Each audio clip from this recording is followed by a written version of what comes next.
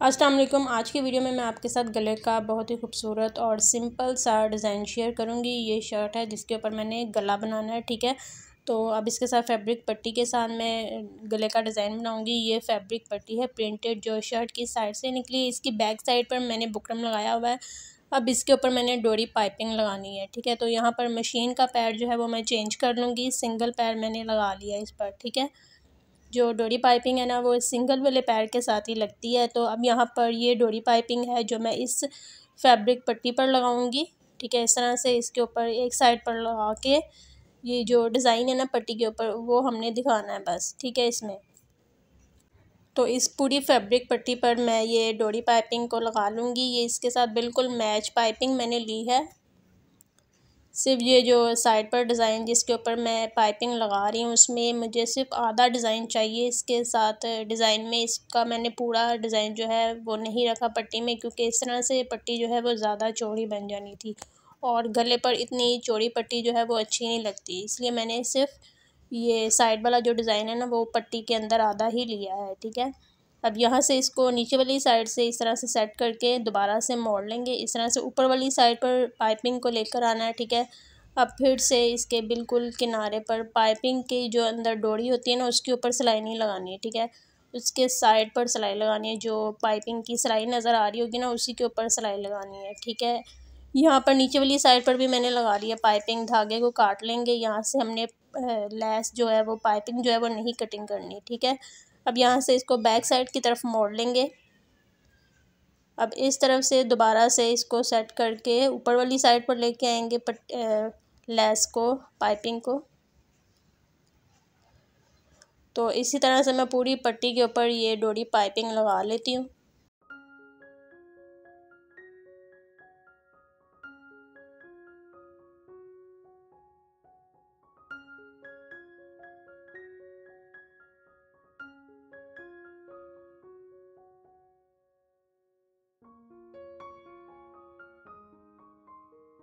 Piping मैंने लगा ली, अब यहाँ से पाइपिंग की कटिंग कर लेंगे। अब इसको बैक साइड की तरफ़ मोड़ के इसको सेट कर लेंगे इस तरह से।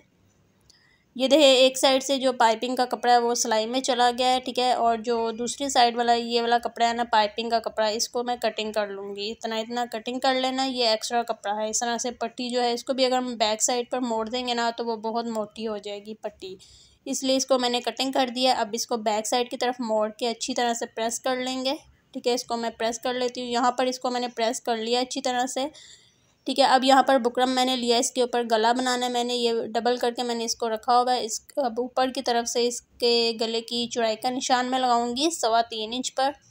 ज़्यादा खुला गला नहीं मैंने बनाना, नीचे भी सवा तीन इंच पर निशान लगाया। अब यहाँ पर गले की लेंथ का निशान मैं साढ़े छः इंच पर लगाऊँगी।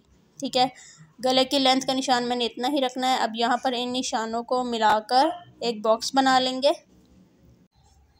निशान मैंने सीधे कर लिए हैं, ठीक है? अब इस बॉक्स के अंदर गले की शेप देनी है तो इसके अंदर मैंने राउंड गला जो होता है वो बनाना है। इस तरह से इसकी राउंड गले की मैं शेप दे दूँगी। तो इसको मैंने वाइट चौक के साथ निशान लगाया था तो वो नज़र नहीं आ रहा था। इसको मैं पेंसिल से डार्क कर लेती हूँ, ठीक है? अब बाहर की तरफ़ हाफ़ इंच का बुकरम जो छोड़ते हैं, उसका निशान मैंने लगाया है। गले के निशान मैंने लगा लिए अब इसकी कटिंग कर लेंगे। गले की पूरी सेंटर से पहले कटिंग करूँगी इसकी, फिर बाहर वाली साइड से इसकी कटिंग कर लूँगी।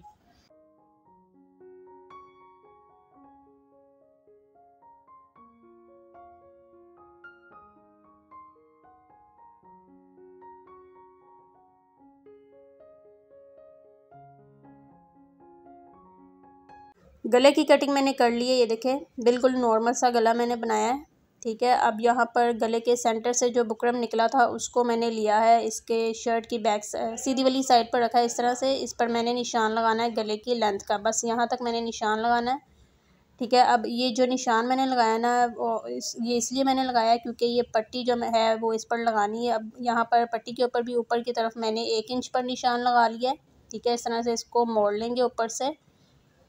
ठीक है, ये जो मैंने निशान लगाया ना इस निशान से नीचे से जो हमने पट्टी की लेंथ तैयार रखनी है, वो मैंने बारह इंच पट्टी की लेंथ तैयार रखनी है, इसलिए मैंने ऊपर की तरफ़ निशान लगाया। अब यहाँ पे ये निशान जो शर्ट के ऊपर मैंने लगाया, ये वाला, ये थोड़ा मैं बाहर की तरफ़ भी लगा लूँगी, क्योंकि इसके मुताबिक ही मैंने पट्टी को रख के लगाना है। तो इस निशान से ऊपर जो शर्ट पर निशान मैंने लगाया ना, उस निशान से ऊपर की तरफ़ मैंने पट्टी एक इंच की छोड़ी है, ताकि वो पट्टी जो है वो ऊपर की तरफ़ सिलाई में गले की सिलाई में दब जाए, ठीक है? अब यहाँ पर बुकरम ये जो पाइपिंग है, उसके बिल्कुल साथ साथ सिलाई लगा लेनी है। नीचे से इसका सेंटर, शर्ट के सेंटर पर पट्टी को सेट करते जाना है और पट्टी के ऊपर सिलाई लगाते जाना है, ठीक है? यहाँ पर शर्ट के सेंटर पर मैंने निशान लगा दिया ताकि नीचे से भी हमें सेंटर का अंदाज़ा हो जाए कि पट्टी हमने यहाँ तक सेंटर पर रखनी है। तो यहाँ पर बिल्कुल पट्टी सेंटर पर ही आ रही है। अब मैं यहाँ पर नीचे से इसको, पट्टी को सेट कर कर सिलाई लगा लेती हूँ, ठीक है?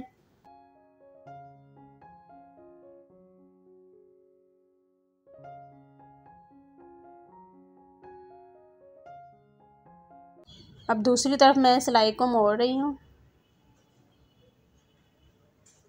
पट्टी थोड़ी सी नीचे से हार्ड हुई है, इस तरह से शर्ट के कपड़े को सेट करते जाना है और सिलाई लगाते जाना है, ठीक है?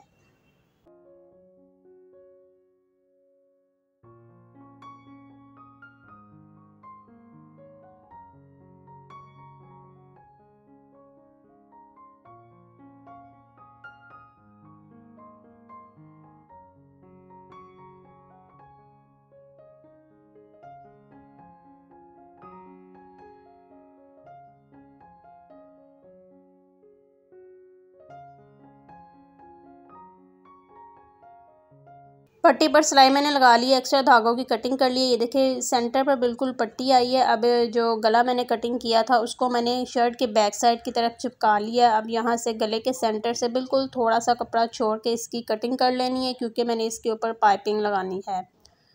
ये गला हम कपड़े के ऊपर चिपका कर अलग से जिस तरह से लगता होता है, वैसे भी बनाकर लगा सकते हैं पाइपिंग को, लेकिन मैं इसके ऊपर इसी तरह डायरेक्ट मैंने गले को शर्ट के ऊपर चिपका लिया और इस तरह से मैं इसके ऊपर पाइपिंग लगाऊँगी।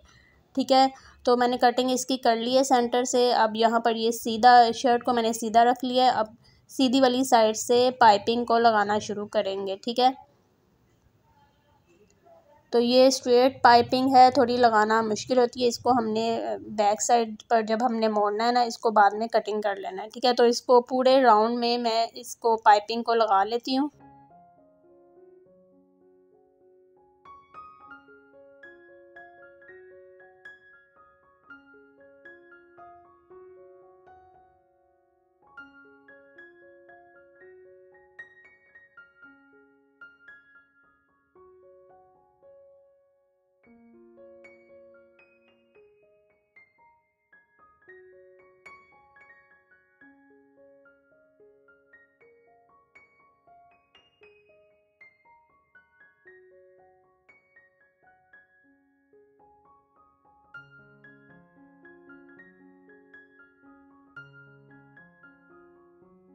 ये देखिए, पाइपिंग मैंने लगा ली है, एक्स्ट्रा जो पाइपिंग है ऊपर से उसकी कटिंग कर लेंगे। अब यहाँ पर इसको मैं यहाँ से आपको दिखा दूँ, इसको बैक साइड की तरफ़ जो मोड़ना है हमने इस तरह से, ठीक है? इस तरह से मोड़ेंगे, इसके ऊपर सिलाई नहीं लगानी, इसके ऊपर मैंने कट लगा लिए ये देखिए, इस तरह से थोड़े थोड़े गैप पर मैंने कट लगा लिए इसको मैं तुरपाई कर लूँगी। यहाँ पर देखिए, मैंने गले को तुरपाई कर लिया बैक साइड से, ठीक है? तो ये गले की फ़ाइनल लुक है, बहुत इजी और सिंपल सा नेक डिज़ाइन है। अगर गले का डिज़ाइन समझ में ना आए तो हम ये वाला डिज़ाइन बनाकर गले को बहुत प्यारी सी लुक दे सकते हैं। तो उम्मीद है आपको वीडियो अच्छी लगी होगी, समझ में आई होगी वीडियो अच्छी लगी है तो वीडियो को लाइक शेयर कर दें चैनल को सब्सक्राइब कर दें। मिलते हैं अगली वीडियो में, अल्लाह हाफिज़।